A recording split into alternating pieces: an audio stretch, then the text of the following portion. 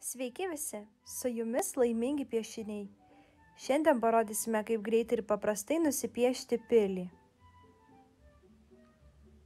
Taigi nusipieškime pagrindinėje pilies sieną.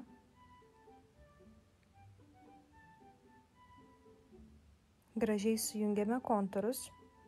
Nusipieškime po bokštelį, tiek iš kairės, tiek iš dešinės.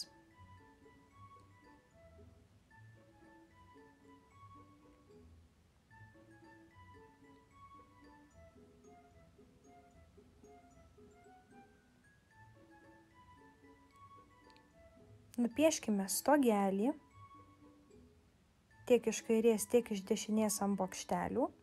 Ant pagrindinės sienos nupieškime mažus kvadračiukus. Nupieškime dar vieną bokštelį, stogelį, langelius.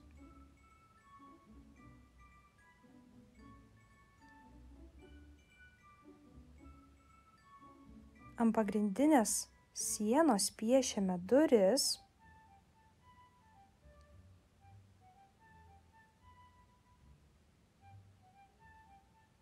Ant kiekvieno bokštelio nupieškime po vėliavytę.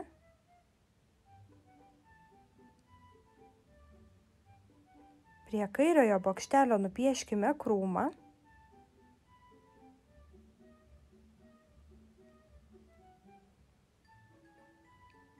Padailinkime duris.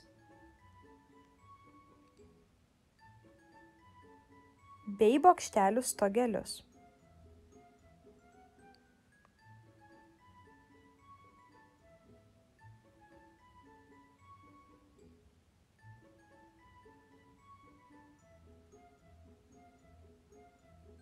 Ir šį piešinį nuspalvinkite savo pasirinktomis spalvomis.